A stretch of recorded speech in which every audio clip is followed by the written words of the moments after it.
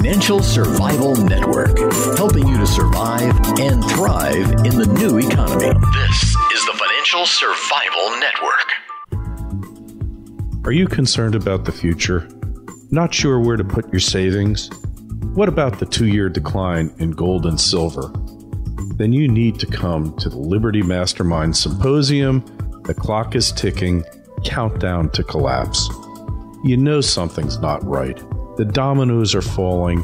The emergency currencies, the emerging currencies are in free fall.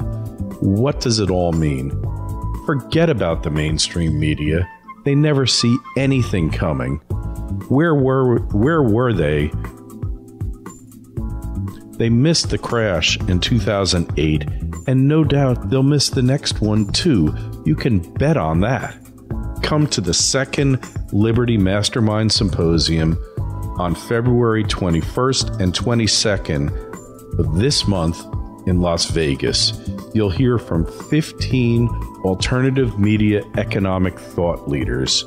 Present will be Wayne Allen Root, Jeff Berwick, Daniel McAdams, Andrew Hoffman, Elijah Johnson, Gregory Mannarino, Tekoa Da Silva, Daryl Robert Schoon, Daniel Ameduri, Seth Peretzman, Robert Ian, Mickey Fulp, Jerry Robinson, Gary Christenson, Turd Ferguson, myself, Kerry Lutz, David Morgan, Kevin Drost, and of course my partner, Alan Butler.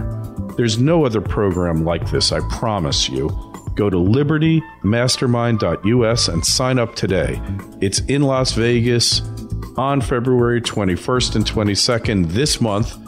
Program is a must if you're unsure what to do. You'll get virtually unfettered access to all the speakers. That's libertymastermind.us. If you need a plan for the coming times, you got to go to libertymastermind.us. I look forward to seeing all of you there. And everyone attending the Friday night dinner with keynote speaker Wayne Allen Root will receive a free e copy of my book, Forget Wall Street, Go for the Gold and Silver Too. FSN, it's about what's next. So, when is the collapse coming? Is it coming? And if it doesn't come for another 10 years, you got to have income and you got to have it now, which is why we've got our prime sponsor, Jason Hartman of jasonhartman.com, on with us now. Jason, welcome back. Hey, thank you, Kerry. Good to talk to you again. Hey, you too. So, so we got this quandary. Some of us, like myself, believe that this merry-go-round can't keep on spinning forever. Others believe that it's going to go on for quite a while longer. We don't know how long. And you got to figure out a way to make some money and hopefully uh, give as little away to the tax man as you possibly can.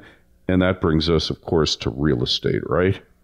Well, it does. I uh, I think it's the uh, most historically proven asset class in American history if not world history.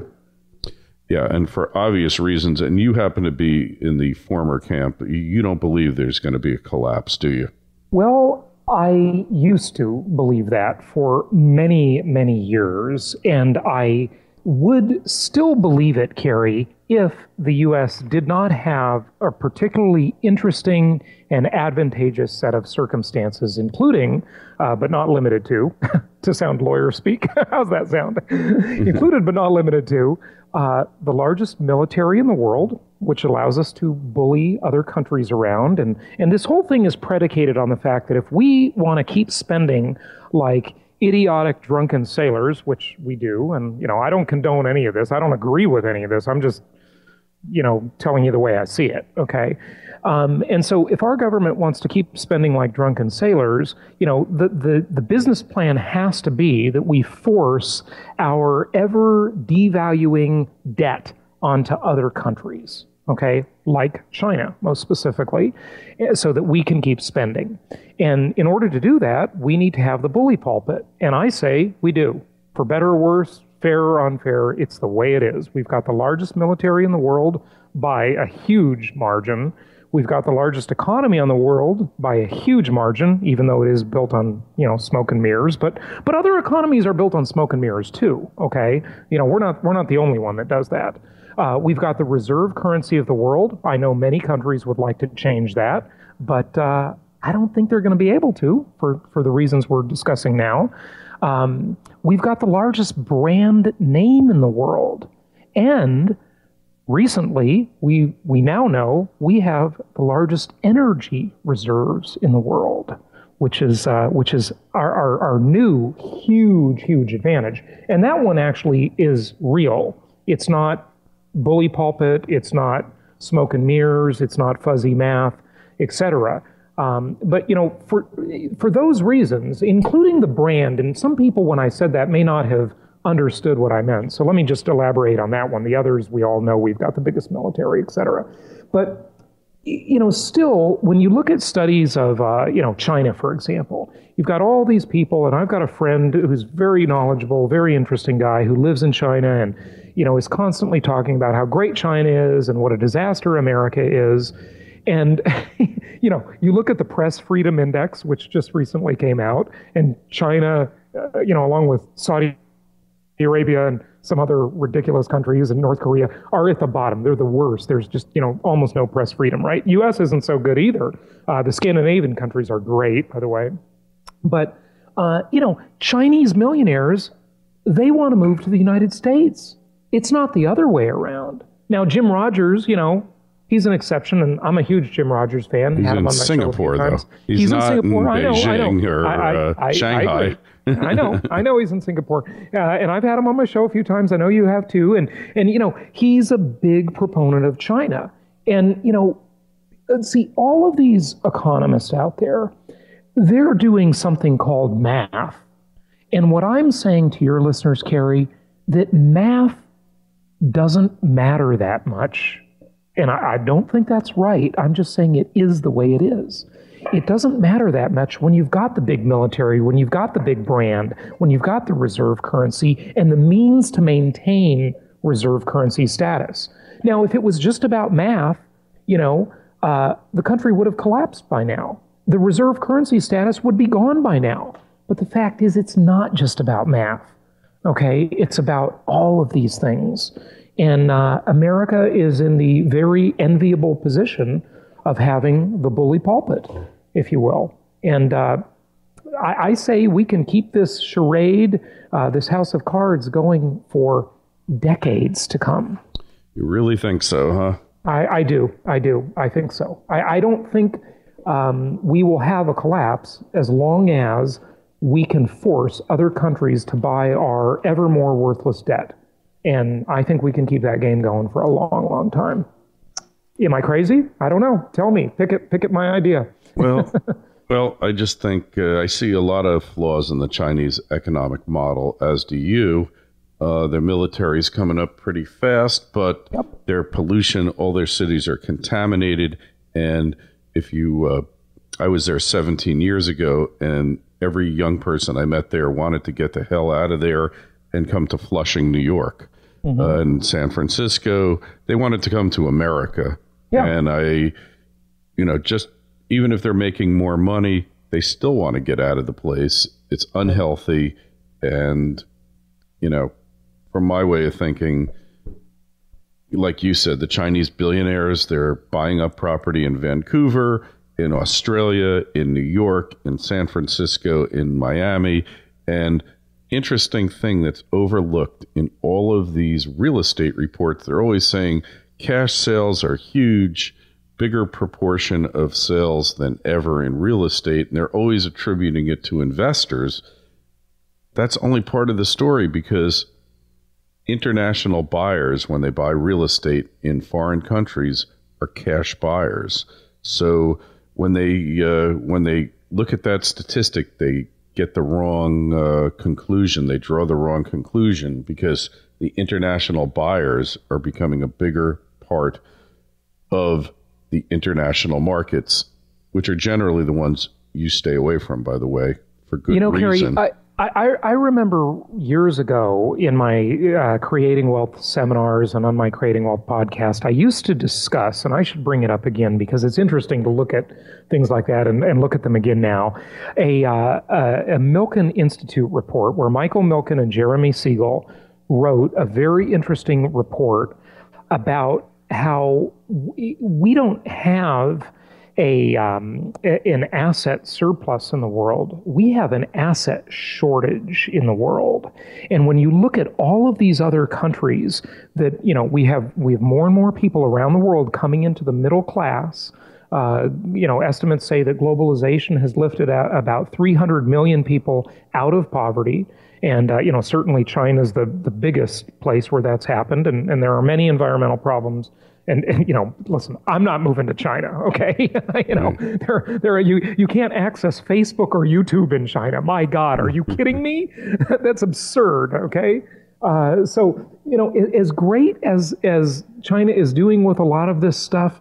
Um, I, you know, and then you add that to the demographic problem they have, you know, with it, which is an outgrowth of their one-child policy. You know, in 15 years, China has a huge, huge demographic problem facing it, meaning that there just aren't enough young people. You know, you've got to have young people coming in to support uh, the older people as as they start to age and retire. And and you know uh, granted there aren't you know there's not much in the way of entitlement programs in China like there are here. But you know as people age and and and get out of the workforce and need more medical care what are you going to do with all these people? I mean China China has an incredibly big problem facing it uh, so uh, you know, and, and and then you know, there's a huge shortage of women over there. You know, when when you have a bunch of men who don't have access to women, you know, that's like a prison situation. It is not good. it's like Alaska. yeah, yeah, well, yeah. You know, it's um, it's it's not Bad a good news. thing. Yeah. Bad news. So.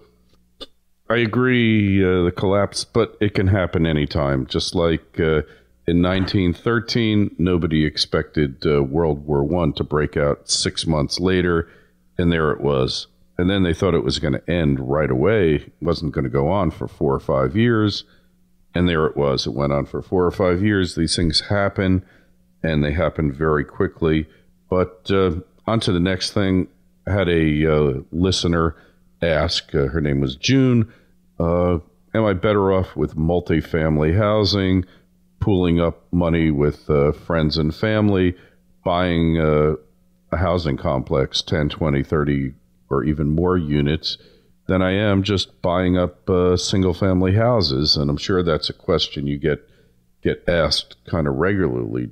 Jason, and what what's your take on it? Right, right. Well, you know, I, I like uh, when it comes to. I, I of course love income property. Any any real estate that produces income I think is far and away the best investment going.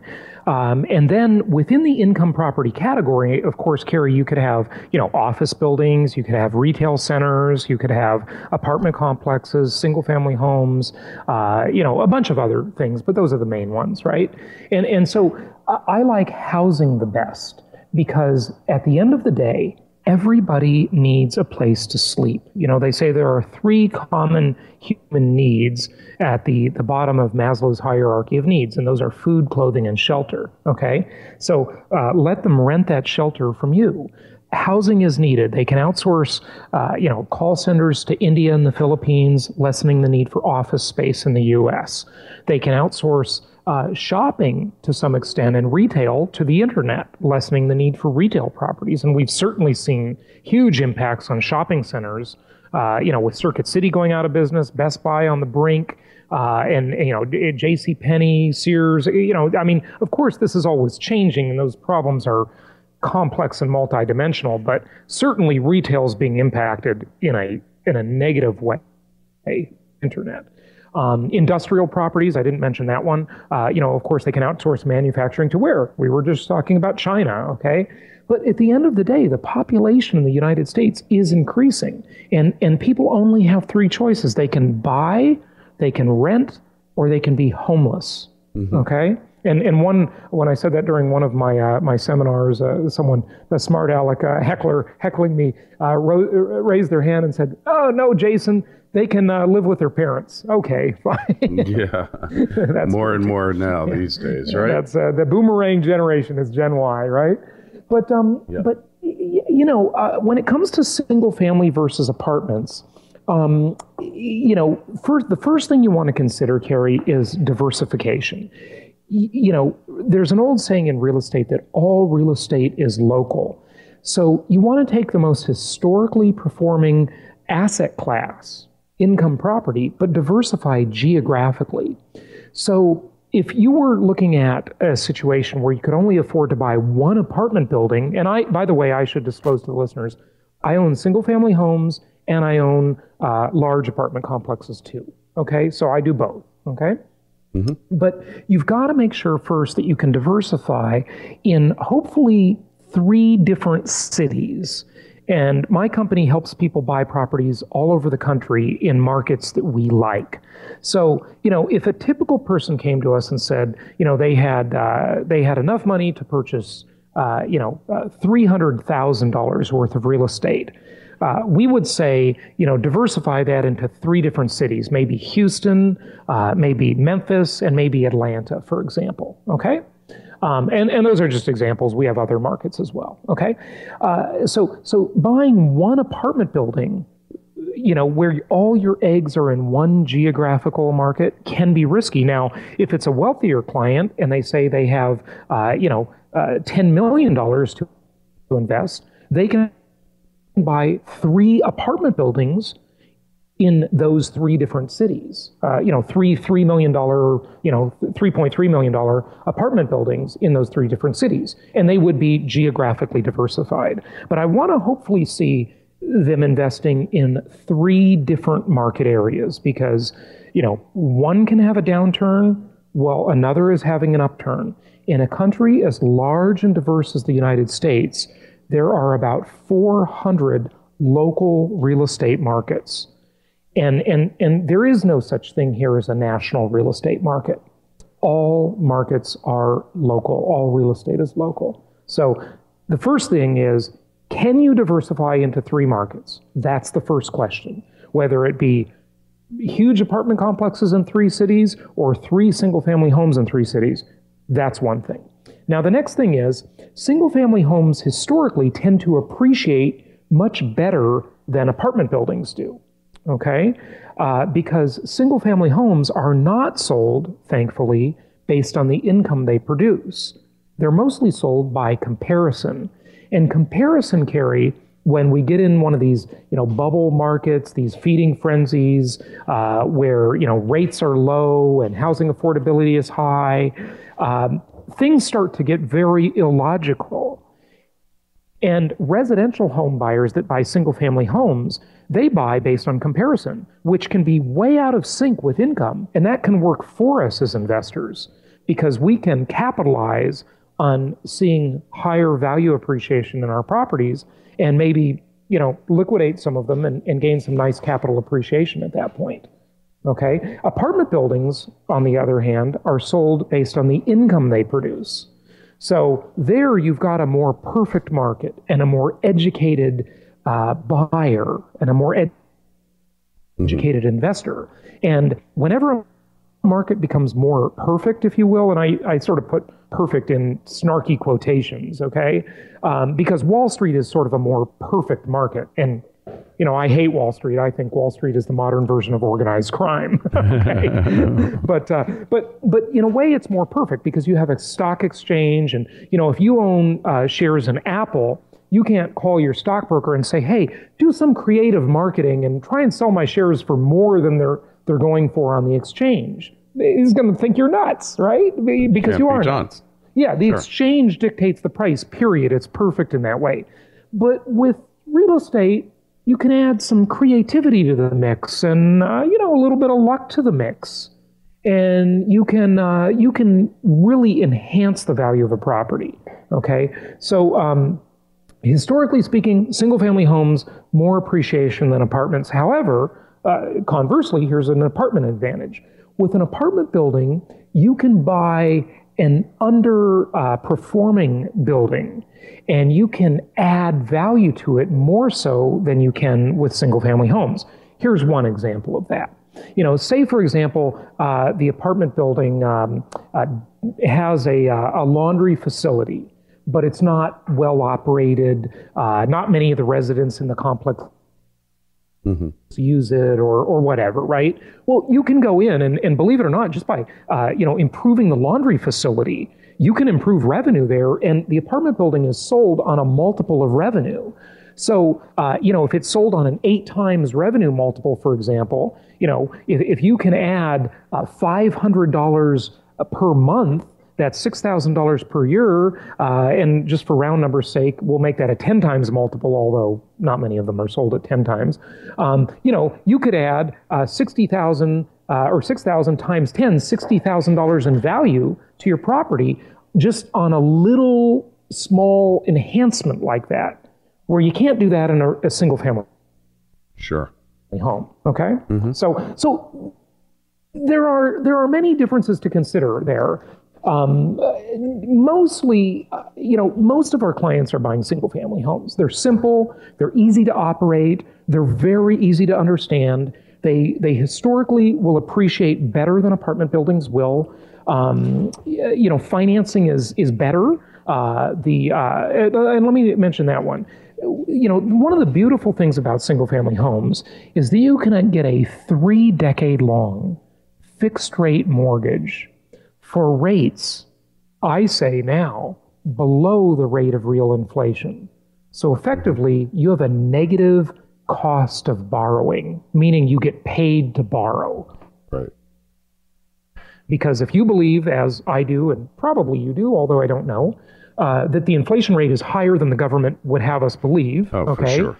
And no in fact, if you believe that inflation rates are higher than mortgage rates, you know, can is inflation rate is the inflation rate higher than about four and three quarters percent, which is the rate an investor can borrow at? Okay, mm-hmm. um, then you're getting paid to borrow, but it, it gets even better because when we own income property, we don't pay our own debts. Our tenants pay our debts for us. So we outsource the debt to the renter and then we borrow below the cost of inflation and we fixed that rate for three decades. So, Kerry, I mean, imagine this. It's February 2014, okay? If someone borrows and buys a single family home today, they won't pay that loan off potentially until 2044. I mean, just comprehend that for a moment. You know, may, maybe maybe there will or won't be a, a, total economic or dollar collapse by then, but certainly we all agree there's going to be a lot of inflation between now and the next 30 years. Has to be. And, and that inflation is going to benefit us dramatically because it reduces the cost of our debt. It pays off our debt for us, but it also increases the price or the value of our commodities. And what is income property? What are single family homes and apartment buildings made of? They're made of commodities. They're made of mm-hmm. petroleum products. They're made of energy. They're made of lumber. They're made of concrete. They're made of copper wire. They're made of glass and steel and all of these great things. And so, so that's a fantastic thing. Now, if you were to buy an apartment building, you know, you can't get a 30 year fixed rate loan the longest you'll get on an apartment building, and I have one of these on one of my apartment buildings, I have a, a, a, uh, a loan amount that's just over $3 million on one of them, and it's fixed for 10 years, which I thought was about the most awesome deal ever in a commercial loan. Because typically you can only get years, it fixed right? for, yeah, five to seven years, okay? Mm-hmm. Um, but my single family homes, they have 30 year fixed mortgages. Okay. Uh, on the apartment building, it becomes adjustable after five, seven, or if you're really lucky, like I was on this one deal, 10 years. Okay. Mm-hmm. So, you know, the, the much better financing on the residential and, and less money down too, usually. Sure. So, uh, so better uh, leverage. Know, so the answer to the question is that it depends on the investor, but you got to make sure you can be in three different markets, three different cities. Okay, and that doesn't mean you know uh, the the city that's a suburb of the main city. okay, it means a totally different market. You know, we say diversify geographically. and uh, we help people do nationwide investing. And so, so three markets. You got to be able to afford to be in three markets at least, uh, if not, you know, four or five even. Um, and uh, and then all of the other factors that I uh, I mentioned. You know, if if you're if, if it's a wealthier client that you know has 10 20 million 30 million dollars to invest then hey you know they don't want to mess around with little single family homes okay Sure it's, it's just Yeah. it's just small potatoes Economies of scale. Yeah, economy of scale. And, and, and they'll take a lower return to have ease of management. And, and that's what they'll get. But, you know, if it's, if it's the, the typical middle class person, you know, and they want to buy six or 10 or 12 single family homes for 80 to $120,000 each, oh, that's the way to go. Yeah, I mean, no-brainer. You know, you know, you, you, you you can buy, you know, two single family homes in three different cities and you have a nice diversified portfolio and, and you've got, you know, $600,000 worth of real estate working for you. And then after that, try and buy two more every year. And by golly, in five years, you got a, you got an empire. Sure. Makes total know? sense. Yeah, Just we- keep that's what- reinvesting. That's what we help do. For, that's what we help uh, people do. and and that sounds like the way to go because uh, you can't gamble on when this collapse, if it's going to happen, or when it's going to happen. And of course, we've got an offer for you out there. As usual, tell us about it here. Yeah, absolutely. So if you go to uh, jasonhartman.com slash Lutz, L-U-T-Z, Kerry's last Yep. name, jasonhartman.com slash Lutz. Um, you can get a free membership, and we're going to cut this off in just a couple more weeks here because we've been running it, I think, for about two weeks now. You get a free membership to Jason Hartman University. And this is something that we sell all the time for $120 a year. And it's uh, it's free for one year for any of your listeners, Kerry. Uh, and uh, they get educational uh, PDFs and, and uh, due diligence checklists and articles and um, access to all of our old podcast archives. So uh, the Creating Wealth Show has about 361 episodes now, and um, many of the old shows we we take them down, so they're not available as part of the the freebie thing. We run them, but then we pull them off later, and and so those are available in the member section. There's some premium articles and blog postings, suggested readings, uh, some research reports, uh, a bunch of different audios, and then a 20% discount on our products and events. So if you want to take advantage of any of our other stuff, uh, 20% discount on that. And of course, uh, we can link you up with an investment counselor who can help you uh, actually find properties. So un- unlike most people, uh, you know, that are out promoting real estate, those are gurus, you know, they, they just go out and they say, hey, buy real estate, buy my course, sign up for my coaching program. Well, we actually have properties that people can buy. We're a real estate broker. So, you know, we, what we say has to be conservative enough to come true in real life. You know, you notice we're not talking about going out, buying a property tomorrow, flipping that property and making $200,000 in a right. Month. Sure Okay. you know, this is, this is the long term, you know, re- real way to invest. It's not a bunch Yeah. of hype. So if you want to get started in this, Jason Hartman University is a really a great place to go. And it costs you $120, but now it's free for a few more of you out there. So just go there. Great place to get started, get your feet wet. And then when you're ready, you talk to one of Jason's counselors and you're on the road, right? Absolutely, absolutely. And so that website again, it's my website, jasonhartman.com. But for the special offer, we have a secret page, and that's jasonhartman.com slash Lutz, L-U-T-Z, and it'll take you right there. All right, Jason. Hey, thanks for being on as always. And we'll talk to you again next month. You be well. Sounds good. Happy investing. What happens if the collapse never really comes? You need income, and Jason Hartman can help you get it. He's helped thousands of people realize their dreams of financial independence through real estate investing, and now he's got an unbeatable offer for you. He's offering my ebook, Forget Wall Street, Go for the Gold and Silver Too, for free. Just visit jasonhartman.com slash Lutz. The first 100 Financial Survival Network listeners will get the book free. Remember, you can't afford to put all your eggs in one basket. Real estate should be part of a balanced investment portfolio along with gold and silver. Just go to jasonhartman.com slash Lutz and sign up today. When it comes to real estate investing, Jason Hartman is the only person we trust on the Financial Survival Network. So make your money work as hard as you do by building an income property empire. Real estate is America's proven investment.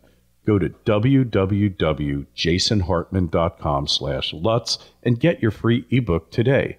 That's Jason, H-A-R-T-M-A-N dot com slash Lutz. That's Jason, H-A-R-T-M-A-N dot com slash Lutz. Jason knows how to help you retire with a portfolio of income producing property. Go to jasonhartman.com slash Lutz. The Financial Survival Network, helping you to survive and thrive in the new economy. This is the Financial Survival Network.